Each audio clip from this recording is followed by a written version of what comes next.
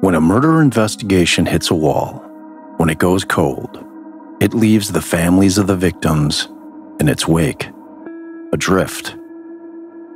They are left tortured by the crushing loss of their loved one and are now faced with the distinct reality that whoever may have been responsible may, in fact, never be brought to justice. The void that is created in the hearts and minds of families as a result of the most violent of acts is one which can never be filled, ever. With me being one of the fortunate souls who's never experienced that type of loss in my life, I am left only to surmise what the arrest of a perpetrator gives the families, mentally and emotionally, beyond the knowledge of what happened to their loved one and that the person responsible will answer for their crimes. The only thing that they truly long for, the only thing, is to have their spouse, their son, their daughter, their brother, or sister back with them, as if none of the nightmare that enshrouds them ever took place. But alas, that cannot be. Yes, the offenders must pay for their crimes, and the victims and their families deserve the satisfaction of witnessing this happen. It has been said that the arrest and conviction and a term of life in prison without the possibility of parole, and in some cases the execution of the offender, that this provides the victims' families with some form of closure. But I just don't know if this is true, because it seems to me that there can never be closure. Not truly. That life was stolen and can never, ever be given back. In terms of actual relief, I'm not sure that is ever felt by the families of those who have lost someone to the hands of a murderer. Justice, that is what can and must be delivered. It is the best that our society has come up with in terms of attempting to make victim's family whole. But justice, even in its most extreme form, and execution, brings only so much satisfaction and relief to the victim's families. And that's because it's fleeting. The execution takes place, the killer's light flickers, and then is extinguished permanently. And the loved ones in that moment feel that justice has been served. But that void that I spoke of earlier, it's still there and always will be. I have long believed that justice may provide society at large with more than it provides those who matter most, which is, of course, the victims and their loved ones. What justice does in a case by case basis is that it ensures that the victim did not die in vain, that at the end of the day, the killer has been removed from society, never to walk among us again. That individual threat has been contained, but someone had to lose their life to achieve it. And for that, all of us owe a massive debt of gratitude. Now, there is a reason that cold cases continue to be worked by law enforcement and private citizens for that matter, oftentimes for decades after the crime was committed.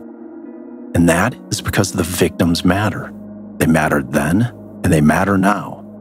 These cases certainly haunt the respective families, and they also haunt the cops that investigate them and just couldn't crack it at the time. As a society, we never stop seeking justice, no matter how long ago the crime may have been committed.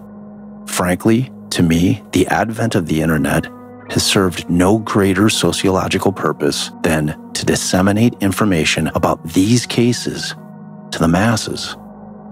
This free flow of information has changed everything, and it seems that almost on a daily basis, cold cases are being solved, missing persons are being located, and the John and Jane Does are being identified through the use of genealogical DNA. We are truly in the midst of a renaissance of sorts of fighting and solving crimes. And it's incredibly satisfying to see because there is no statute of limitations on murder. And no matter the length of time that has passed, victims deserve justice. Unidentified persons deserve their names back. And missing persons deserve to be found. Now, one thing is for certain with this case that we are covering, and that is that the hunters, the Shermans, law enforcement, and the public all want answers, and they want them now. The only problem is they aren't getting them. And the Omaha Police Department seems close to reaching the end of its proverbial rope. And that, my friends, is a dangerous place for the collective mindset of law enforcement to be. Because desperate times call for desperate measures.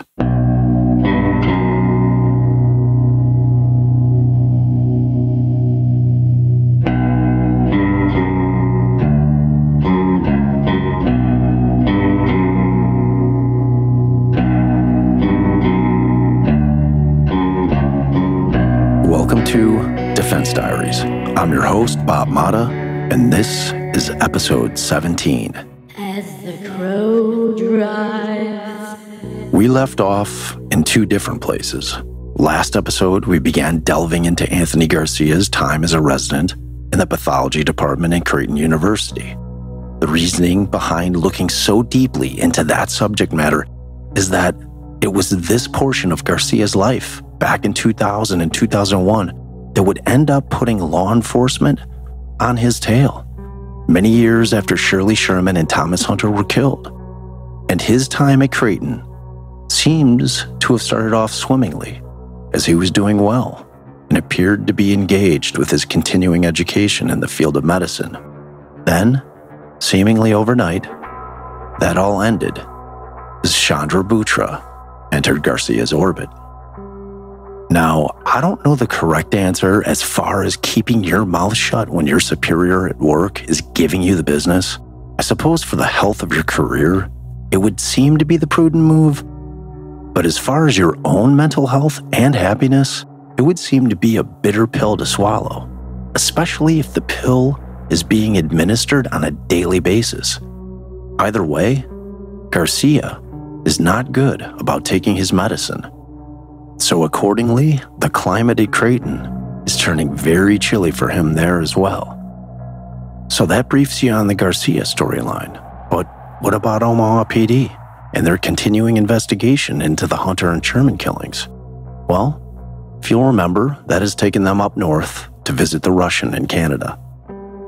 Both Warner and Robitaille left that sit down feeling that at the very least, that the Russian had been evasive about certain things, and they are both perplexed as to why he would be lying to them about anything if he's not the guy. During the trip, the Russian supplied the boys in blue with his work schedule for the days in question. However, those papers are just that papers. What they need is to speak with the individuals that can verify with absolute certainty the Russian was actually in Calgary performing the scheduled autopsies from someone that was in attendance with him. If that person does not exist, they may be onto something. So, which avenue shall we go? Well, let's dig in and find out. Upon arriving back in Omaha, Warner briefs the team on what was learned during his trip up north with regards to the Russian and his potential whereabouts on March 13th of 2008. Warner explains that the task at hand is to now locate anyone that may have worked with the Russian on the 13th of March in Pittsburgh, Pennsylvania. Warner tells the team that the Russian has given a couple of names of colleagues that may have been in attendance during any autopsy that he would have performed. After the briefing, Officer Eugene Watson approaches Warner and tells him that back in late March, at the beginning of the investigation, that he was following up on a Crime Stoppers tip. That was regarding the Russian and his possible involvement with the murders. Warner was aware of Watson's work on the Russian, as it was Watson who had tracked down the Russian's location and informed them that he was now living and working in Vancouver. Watson admits that it was early in the investigation and that he can't independently recollect what he learned, but that he was going to go back, check his notes, and to see what he can dig up because he distinctly recalls speaking with a detective from the Pittsburgh Police Department about the Russian. Warner tells Watson he needs the info as soon as possible because time is of the essence. Now, we have discussed how the flow of a police investigation goes on this pod on at least 100 occasions. All right, that's dramatic, but we've talked about it a lot. But just so you have a clear understanding, the police report that we are using to get the information to you is dated March 9th of 2009, almost a full year after the homicides. As we have told you many times, that date does not indicate when the work was done. No, far from it. All it indicates is when the actual typed report was prepared. That being said, without a report being generated and entered into the system, other officers working the case are not necessarily going to know that such information exists. And when you have half the force working on one case, that can be problematic. The following is what Watson had learned early on. In the beginning of the investigation, around March 21st of 2008, Watson made contact with Immigration Customs Enforcement Agency, commonly referred to as ICE, in order to try and get an exact location on the Russian. The ICE agent was able to ascertain that the Russian had arrived in the United States in 1999. He further informs Watson that the Russian had become a U.S. citizen in 2005 and that he had a Pittsburgh address in March of 2008. At this time, Watson is also provided with the Russian's social security number. Immediately after receiving this information, Watson jumps online and locates a number for the Pittsburgh Bureau of Police, Homicide Squad. He is shortly connected with a Detective Foley. Watson briefs Foley on the homicides and inquires whether there's an agency that would be willing to check a residence of a potential person of interest in the aforementioned homicides. Foley tells him, of course. Watson hears Foley clicking and clacking away on the computer. Shortly thereafter, he provides Watson with the Russian's current address in Pittsburgh. Now, Foley doesn't have much more info other than when the Russian obtained his DL and the address that was provided to the Secretary of State, which matches the address he earlier provided to Watson. Foley continues to click around and informs Watson that it appears that the Russian is not currently living in the apartment, but instead is subleasing it to another resident. Not a medical resident, just a person living in that apartment. Now, he tells Watson that he will track him down and set up an interview. Watson thanks him thoroughly and terminates the call. Now, according to the police records, months go by as Watson apparently is busy tracking down other leads. But as all those leads dry up, he circles back and gives Detective Foley a call in order to follow up. And this occurs on July 14th, 2008. Now, just a bit of a side note here. With respect to police reports and the information contained therein, as a defense attorney, I've always reviewed them with a fair amount of skepticism because, as is the case with this report, which was prepared nearly a year after the calls took place, dates of occurrence could be nothing more than a guesstimate, especially if a cop is trying to cover their own ass. If, say, something very important was missed early on, this is why we always, always requested the cops' handwritten notes. Hey, beautiful humans. Bob here. I wanted to talk to you for a minute about a sponsor that we absolutely love. And that sponsor is Shopify. And why do we love Shopify? Well, because they give small business owners and entrepreneurs the ability to be able to get their incredible products out to market with their own virtual storefronts and with only a minimal amount of effort. And then Shopify helps them become big businesses. Look, I'm dead serious here. Shopify has absolutely changed the game as hundreds of thousands of businesses that may have never had the opportunity to get their products out to the public are now completely in the game. Brands like Death Wish Coffee, Magic Spoon Cereal, Gymshark all sell their amazing products through Shopify. And it's not just the small growing businesses that sell through Shopify, it's the big dogs too, like Heinz and Mattel. But what else separates Shopify from everyone else? that helps small businesses turn into big businesses? Well, How about because it's the number one checkout experience on the planet? Or maybe it's Shop Pay, which boosts conversions up to 50%. That means that less carts go abandoned and way, way more sales are happening. This is the bottom line. The businesses out there that sell more, quite simply, sell on Shopify. So upgrade your business and get the same checkout that Gymshark, Death Wish Coffee, Magic Spoon, Heinz, and Mattel use. So sign up for your $1 per month trial period at shopify.com slash DD. Again, go to shopify.com slash DD to upgrade your selling today. That's shopify.com slash DD. I can tell you this as soon as our t shirts and all our merch is ready, there's only one place on the planet where Defense Diaries is going to be selling their goods, and that, my friends, is Shopify. You know, to compare and contrast with the written report. And 99 out of 100 times, we were told they had been destroyed. How convenient. But I digress. So Watson gets Foley on the phone they exchange pleasantries, and Watson inquires what, if anything, Foley has learned. Foley tells Watson that he was able to make contact with the Russian supervisor at the Allegheny County Medical Examiner's office. He further tells him that this interview took place on April 4th of 2008, and during that interview, he learned that the Russian was scheduled to work on Thursday, March 13th.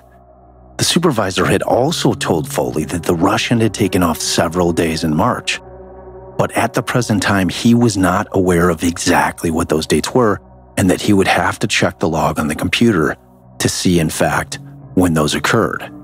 Foley continues. The supervisor didn't really give us much. He told me that the Russian was married and had a child who lived in Alaska and that he had been in Omaha for four years. He also tells Watson that he had started working for the coroner's office in Pittsburgh on July 16th of 2007.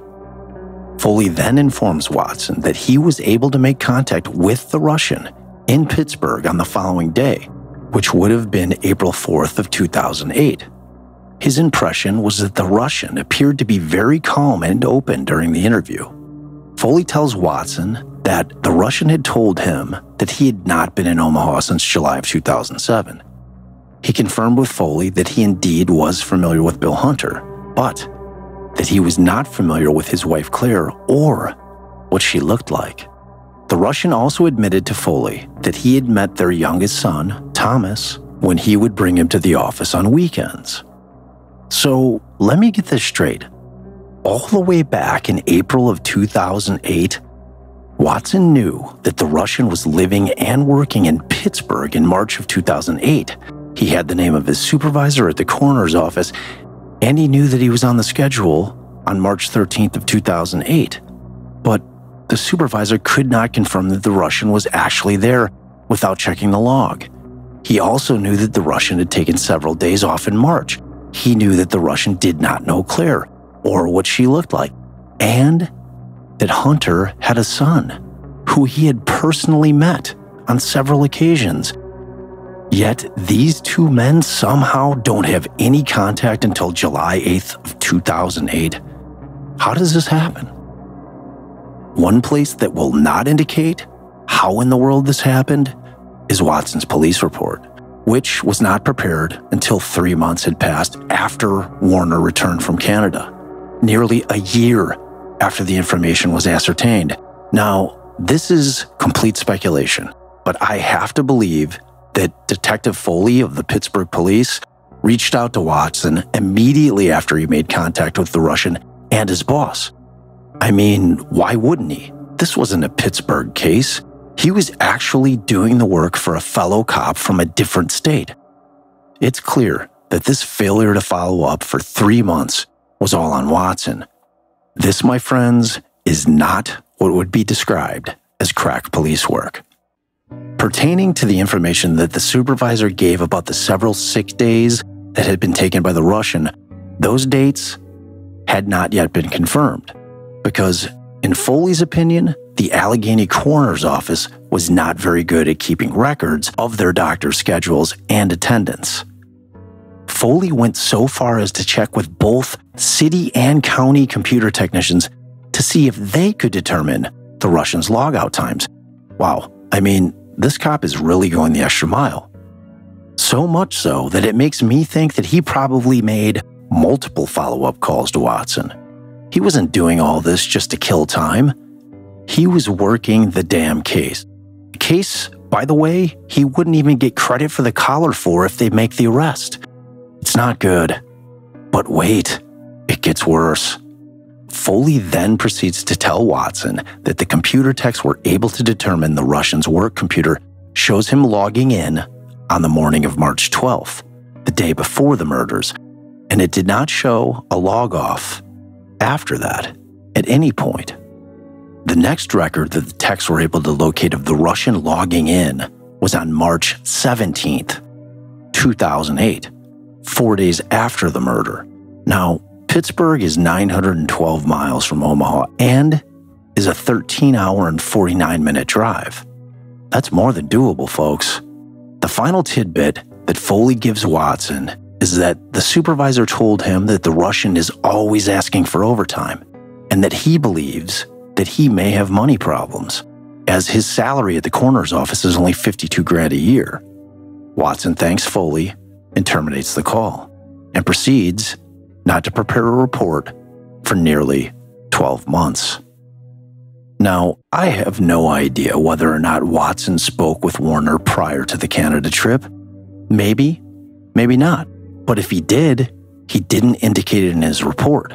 And based on the fact that Warner did not mention the peculiar login information to the Russian when they were discussing his schedule, leads me to believe that this information did not make its way to Warner before he left to Canada. Now, I'm not trying to pick on Watson here. Well, maybe I am a little bit. But when you have a disgruntled former employee who several of his coworkers described as potentially violent, and one female coworker stated that she was afraid to be in a room alone with him, who also knows Bill Hunter, who also has met Thomas on several occasions, and is not familiar with what Claire Hunter looks like. You just don't ignore all that information for 12 months, and you sure as hell don't keep it to yourself. On March 20th of 2009, Eugene Watson is Hey guys, Bob here. I want to talk to you a bit about investing. Yeah, you know that concept of making your money work for you? Yeah, well, I was always afraid to invest because I knew nothing about it. I didn't know how to enter into the market. I didn't know how to buy stocks. I didn't know how much money I needed.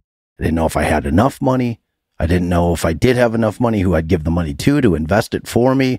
I didn't know what kind of stocks to buy, all of the excuses that I had. And frankly, when I was young, I just wasn't thinking about retirement. I wasn't thinking that far ahead. And I wish that today's sponsor, Acorns, existed 30 years ago when I was in my 20s because I would have been in the market now at this point for 30 years. So, what is Acorns? Well, glad you asked.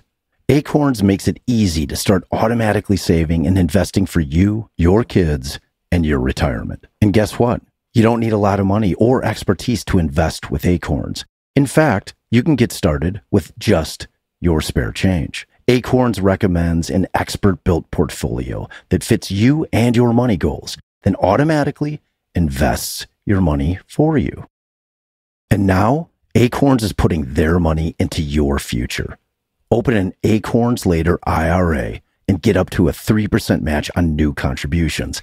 That's extra money for your retirement. How cool is that? Look, guys, long before Acorns was a sponsor of our show, I was using Acorns to invest my money. I thought the concept of using spare change from transactions to invest in the market was so ingenious that the minute I found out about it, I signed up and got an account. So if you were like me and you were hesitant about getting into the market, forget all that. Dive in with Acorns. Let them do the work for you. Let them do the research for you. Let them be your guide into investing your money. I did years ago and I couldn't be happier. So head to acorns.com slash DD or download the Acorns app to start saving and investing for your future today. Paid non-client endorsement. Compensation provides incentive to positively promote Acorns. Investing involves risk. Acorns Advisors, LLC, and SEC registered investment advisor. View important disclosures at acorn.com slash DD. back on his computer, typing another report. Reading between the lines here, it's clear that Warner gently nudged his fellow officer that he needs to make up for lost time because they might have their guy. This report is also relating to the police activities that took place back in April of 2008, so it's another oldie but a goodie. Now, Watson reports that on April 8th that he reached out to a woman named Carla, who was the former co-worker of the Russians at the University of Nebraska Medical Center, where he worked briefly before he was at Creighton.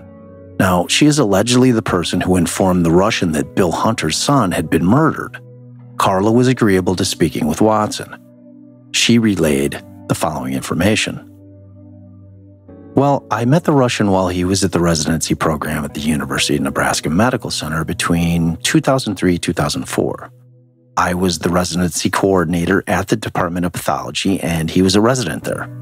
When he started, he advised me that he was looking for a place to live, and that ended up being in my basement for about three months. He had paid me about $300 a month rent. At the time, I believed that he was driving a two door silver Honda Accord. I also believe that he had a wife and a child, but that at some point his wife just up and left with the kid. But I'm not 100% on that. One thing I can tell you for certain about the Russian was that he was always very secretive about where he was at, and he was an intensely private person. Watson then asked Carla if she'd ever seen or heard of the Russian becoming violent or aggressive with anyone, including herself. Carla tells him no, but that he always appeared mild mannered and always seemed to want to please people. She continues The Russian began to have problems with the residency program at UNMC in about 2003, primarily because of his poor academics, which I believe was related to his lack of the grasp of the English language. He became bitter about UNMC, and I believe that is what resulted in his expulsion. After that is when he enrolled at the pathology program at Creighton. One thing that I did think was strange, though, is that he would often joke about being part of the Russian KGB. I mean, I assumed that he was joking because he would often laugh when he was saying it. I mean, he did have a very, very heavy Russian accent. I'm not sure that this matters at all, but I also suspected that he might be gay. Watson asks her what made her think that. Well, it was basically because he was kind of feminine with his demeanor and his mannerisms and certain things that he did. Watson inquired if she had had sexual relations with the Russian. Slightly offended, she said no. We were just landlord and tenant and friends. We never even discussed a romantic relationship. Oh, but he did have a friend up in Vancouver that he lived with when he was up there. Uh, he's a very wealthy older gentleman and he lives very frugally.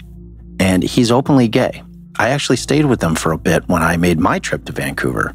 He's a very nice man. She then supplies Watson with his name and address.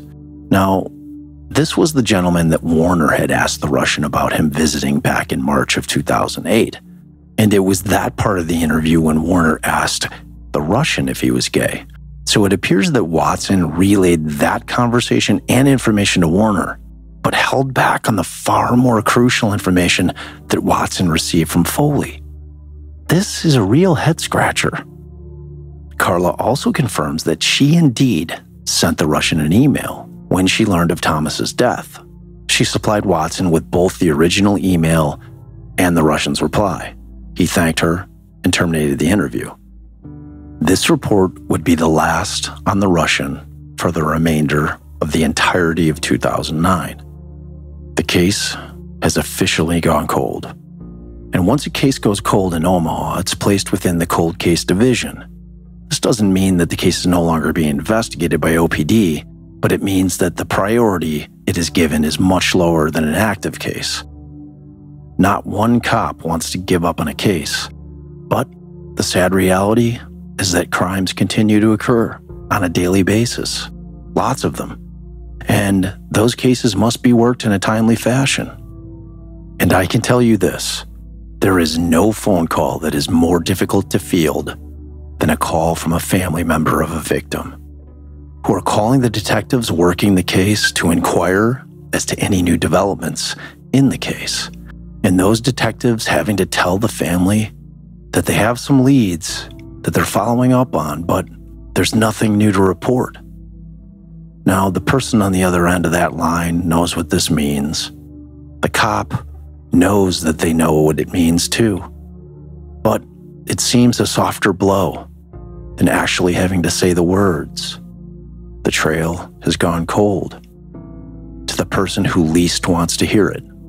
So, as 2009 marches forward and the dreadful two year anniversary of the murders approaches in 2010, Omaha PD renews its efforts of looking into the Russian. You see, while OPD never had nearly enough evidence to place the Russian under arrest for the murders, they also could not clear him either. And at some point, the Russian, being a person of interest, was leaked to the press. And certain investigative reporters took it upon themselves to dig into the case in the hopes that maybe, just maybe, they will uncover something that the police may have missed. So on March 10th of 2010, Sergeant Ken Kanger was handed an email from Sergeant Teresa Negron of the Homicide Unit. The email was from a man from the Allegheny Medical Examiner's office, and he had been contacted by a reporter from the Omaha World Herald named John Ferak. Ferak was seeking documents, specifically the documents that OPD had requested from the same department back in 2008 relating to the Russians' brief stint in the Allegheny Medical Examiner's office. Kanger read through the email, then he picked up the phone and called the guy who had sent the email in order to find out just what exactly this reporter was rooting around for.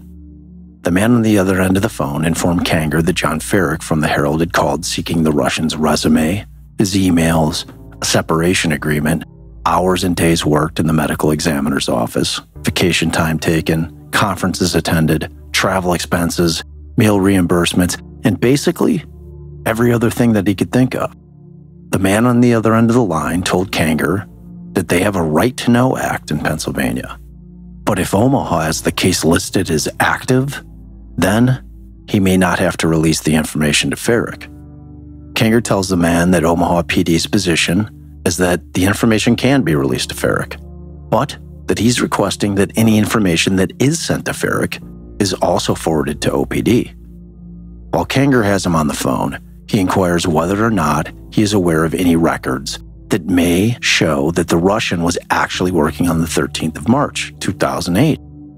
The man tells him that his office's records would only show if the Russian had worked 40 hours in a week, but would not specify what days he had worked. Kanger thanked him and terminated the call.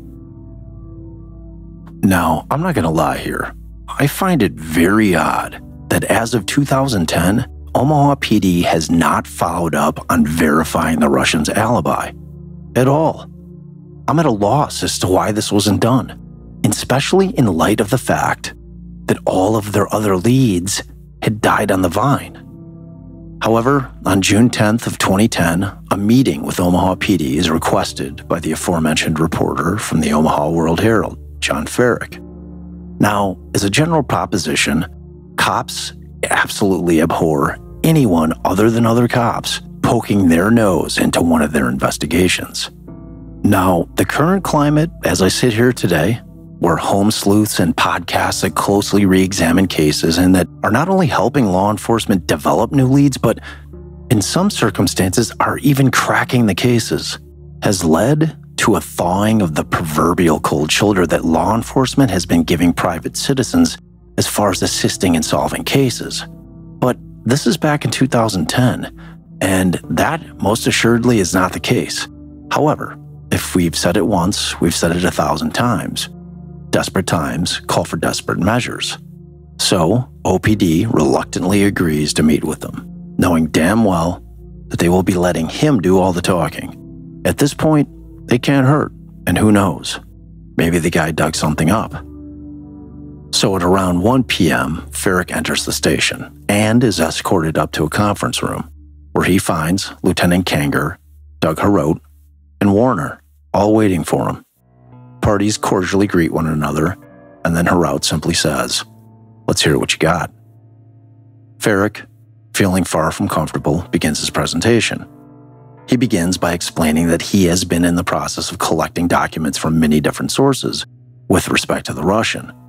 He pulls out the documents that he received from Creighton, the state of Iowa, which, if you are not familiar, shares a border with Omaha, Nebraska, and the medical examiner's office of Allegheny County in Pittsburgh.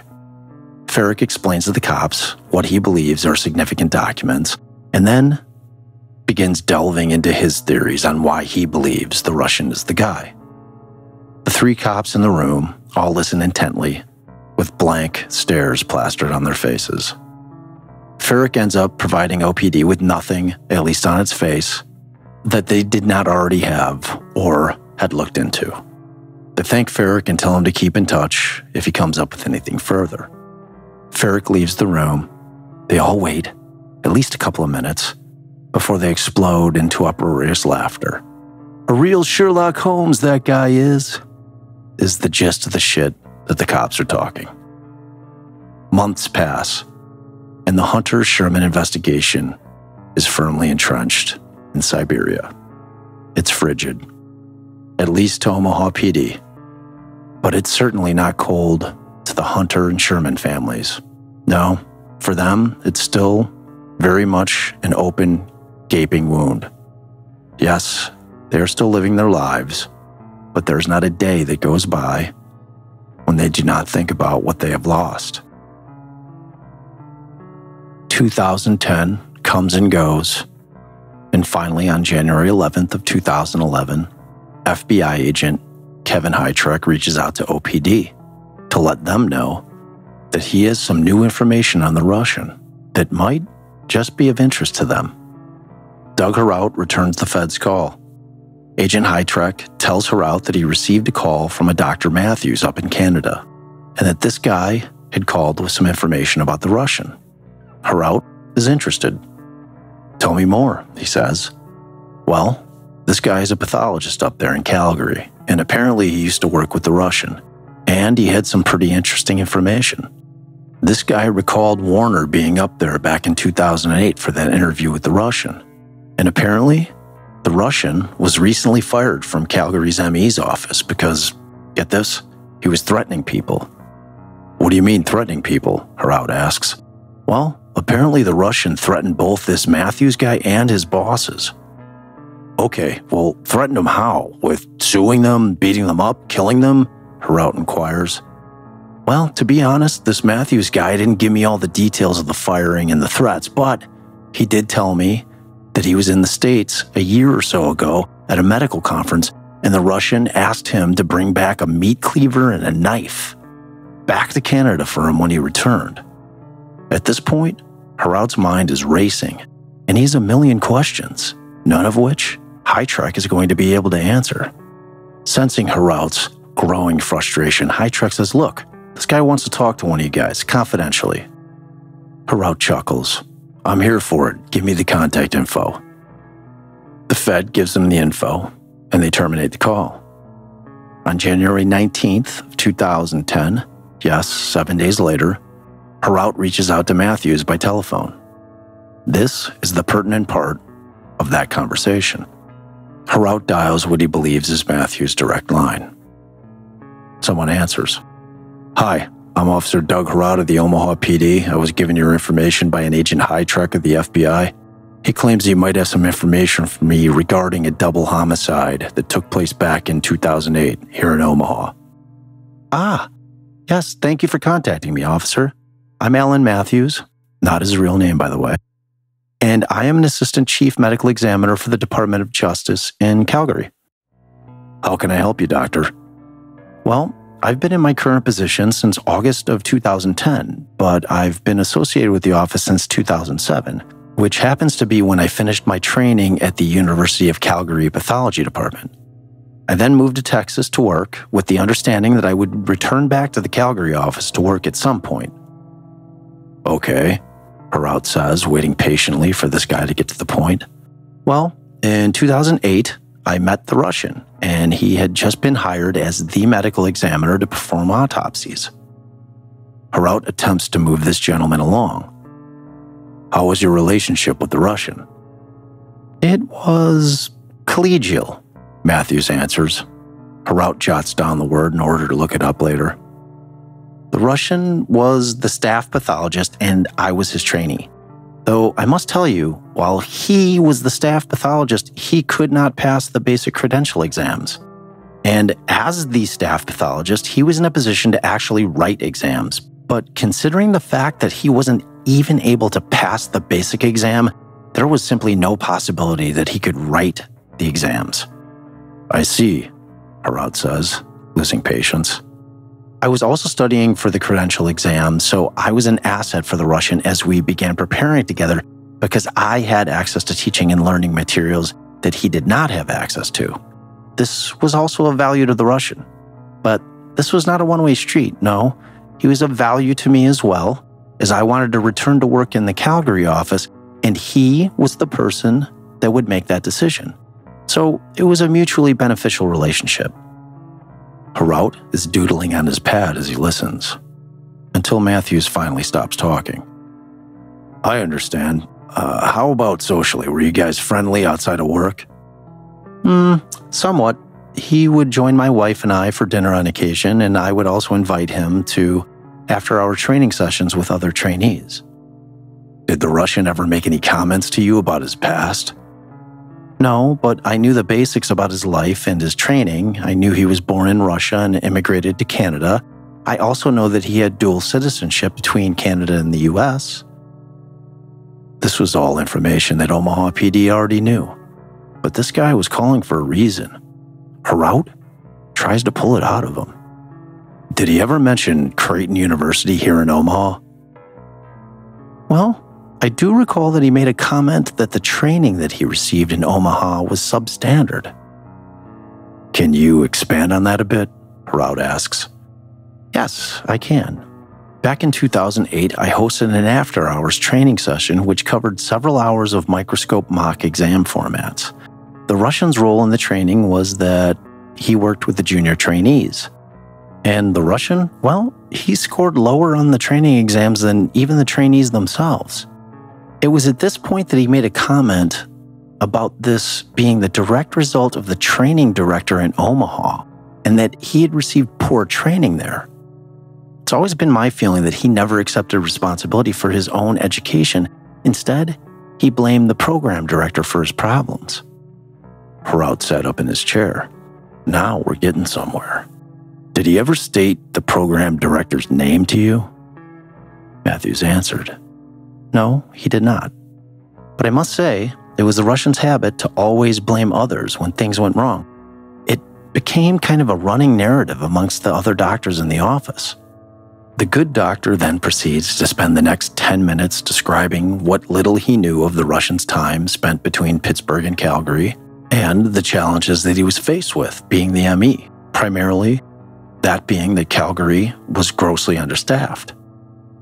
So, Agent Hytrek told me something about the Russian asking you to bring him a knife and a cleaver back from the States. Can, can you tell me about that? Ah, yes, Matthews says enthusiastically. I fear in retrospect it appears to me to be a bit more sinister than him simply asking me to bring back a souvenir or two from the States. You see, I had an ongoing relationship with Miami Dade County since around 1998, and I would make annual trips there to teach autopsies. So back in 2008, I was in Dade County in December for such a trip, and there were two colleagues of mine with me. Well, one day during the trip, one of my colleagues came to me with a package addressed to both myself and the Russian. I didn't open it, but over the next few days, two additional packages arrived, at which point my curiosity got the best of me and I opened the packages. Contained within the later arriving packages was what I considered to be an assault knife and a meat cleaver and a dark colored jacket. I called the Russian immediately and I asked him what this was all about. And he told me that he had purchased the items off of eBay and that he wanted me to drive them back across the border. Heraut is all ears at this point. Well, that's a rather strange request. Did you agree to do it? Yes, yes, I did. And I'll tell you why. I wanted that Calgary job, and I knew the Russian was the person who would decide whether or not I got the job. So, accordingly, I packed the items and took them across the border with me. Heraut ponders everything that he's just been told for a moment before he asks, how did the Russian know to send the items to Dade County? How did he know where you were staying? Well, I initially wondered the same thing. He certainly knew I was going to Dade County for the conference, but he didn't know where I was staying. So upon my return, I asked him just exactly how he knew where to send the packages. He stated that he had simply just Googled the locations of the conference and directed the packages to be sent to the hotel where the conference was being held. Simple. Did you ask him why he didn't have them sent to Canada?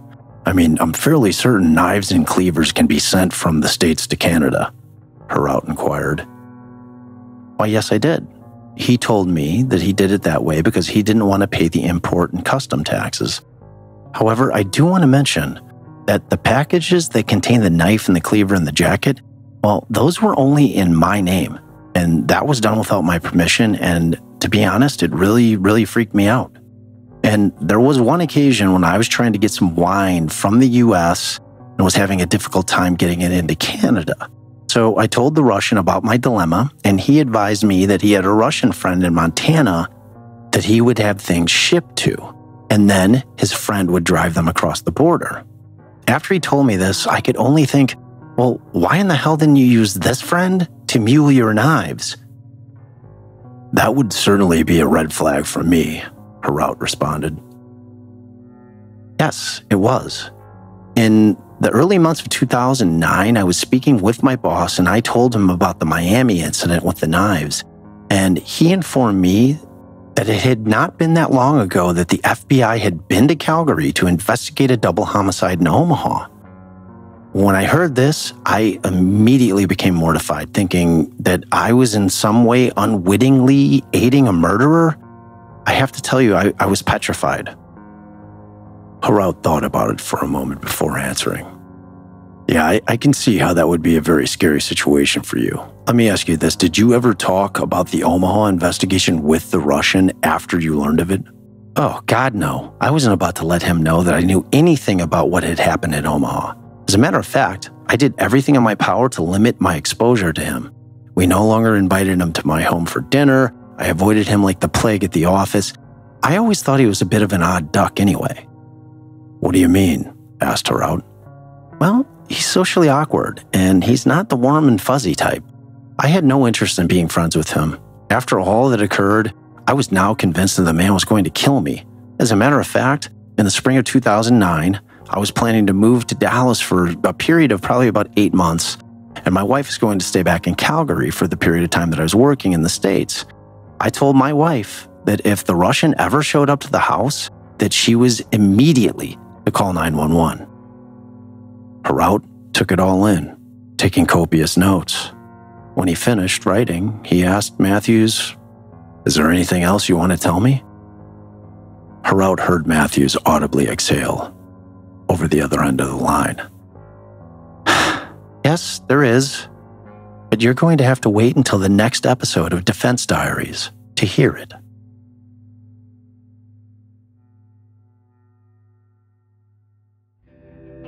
All right, time for a few shout outs that I like to do every couple episodes because uh couldn't do this without these people.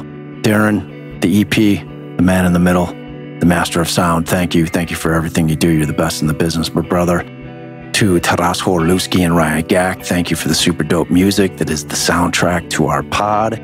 To Alex Carver and my beautiful daughter, Courtney Reese, thank you so much for our socials and all the amazing graphic arts that you guys are putting together for us. It's fantastic. I really, really appreciate it. And to my beautiful wife, Allison, thank you for basically running our practice alone. So um, I know that's a huge amount of work, and I really appreciate you giving me the opportunity to try to make this thing into a monster. To all of our Patreons, we love you guys. Your contribution, no matter how much it is, whether it's $5, whether it's $25, is beyond appreciated by both Darren and I. We love you guys so much. We are trying to give you guys some more content. Uh, I think we're dropping another bonus episode this week, uh, is the hope. And we will continue to try to mount more and more uh, extra goodies for you guys in there. So, patrons, we love you. Thank you, thank you, thank you.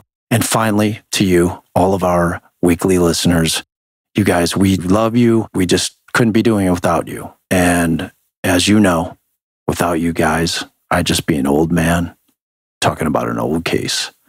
Talk to you next time.